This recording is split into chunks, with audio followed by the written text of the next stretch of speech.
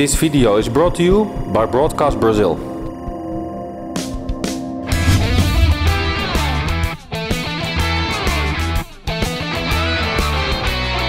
Webcast, broadcast and mobile.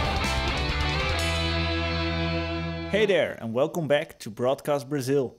Today we're going to show you a small tutorial on how to use the program from Intelligence Assistance called 7toX.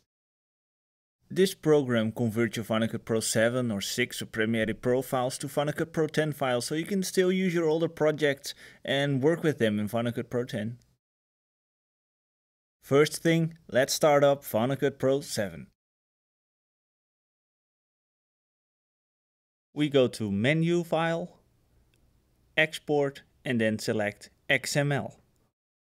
Here you see some options. Be sure to select version 5 for when you're in Final Cut Pro 7. If you use Final Cut Pro 6 or Premiere or another program, select version 4. Go ahead and save it to a place you prefer. In my case I'm just saving it to the desktop now, calling it Edit Final. You will see that it will now export the XML file.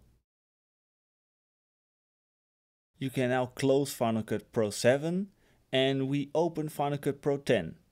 In the project library, choose the disk where you want the event to be created. After selecting the disk, let's go ahead and open 7toX. We go to File, Open and select our XML file. You see this translating the XML file now. This may take a while depending on the size of your project. After transporting you'll see that it will import the XML file into Final Cut Pro 10. Going on to the event library and select the disk we selected earlier, we can now see our event created, Edit Final. We see separated our master clips and sequences. If I double click on my sequence now, you can see it will open in the timeline with everything in there like it should be. My basic transitions are still working, the markers are still in place, everything looks great.